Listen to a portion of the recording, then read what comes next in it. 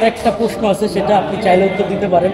আপনি একটা প্রোগ্রামে আর কি বলছেন বা একটা ইন্টারভিউতে যে মান্না ভাইয়ের পরে আপনি সুপারস্টার দেখেন, এটা নিয়ে সাকিব ভাইয়ের যারা ভক্ত আছে, তারা একটু মন করল অনলাইনে লেখালেখি করছে। তো আপনি যদি একটু বিষয়টা ক্লিয়ার করেন বা কোন আপনি হয়তো আপনার জায়গা থেকে বলছেন, আপনার ভাবনা থেকে।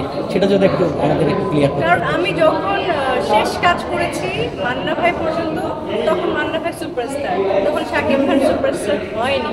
তো যখন আমি ঝরে এসেছি তারপরে হয়েছে। এই কারণে না আমার নামটা আসে এবং মানে বলা হচ্ছে আপনাদের কোনো ব্যক্তিগত মানে চলমান ছিলাম আমি যখন কাজে ছিলাম তখন আমি সুপারস্টার ছিলাম মান্না ভাই সুপারস্টার ছিল আমাদের ছবি হিট ছিল তখন শাকিব খানের ছবি হিট হয়নি। যখন আমি আস্তে আস্তে সরে আসলাম তারপর থেকে ও হিট হওয়া শুরু আগামী আগামী তিন ছবিতে পূর্ণিমা আবারও প্রমাণ করে দেখে পূর্ণিমা হ্যাঁ, বাস। আবু আর একটা প্রশ্ন আপনি একটা বলছেন যে আপনি পলিটিক্সের শিকার হয়েছিলেন ইন্ডাস্ট্রিতে থাকাকালীন। সেই ওয়ার্ডটা প্রচুর ভাইরাল হয়েছে হ্যাঁ, হ্যাঁ, হ্যাঁ। এইটা আমি আলাদা প্রোগ্রাম করব। একটু জাস্ট একটু আমাদের- আমি কেন পলিটিক্সের শিকার হয়েছি এবং কারা আমাকে এই পলিটিক্সের মধ্যে ফেলেছে তাদের সবার নাম আমি বলব। আপু আমাদের ক্যামেরা যদি একটু।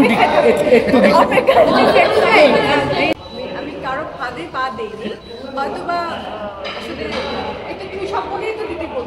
বলছো? না না এখন এখন বলব না। এটা তো আলাদা একটা প্রোগ্রাম আলাদা প্রোগ্রাম আমরা প্রেস কনফারেন্স আপু আপনাকে বলা হয় যে আসলে মাল্টি ট্যালেন্টেড মানে অভিনেত্রীর জায়গা থেকে মানে আদার্স জ্ঞান মানে সব মিলে এই প্রশ্নটাকে আপনি বিজ্ঞত হন না কিছু?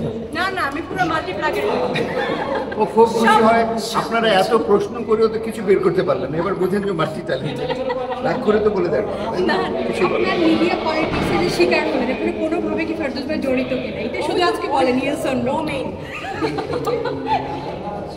খুশি এটাই কিন্তু হেডলাইন হবে আজকে যে এটাই ভাইরাল ও মেইন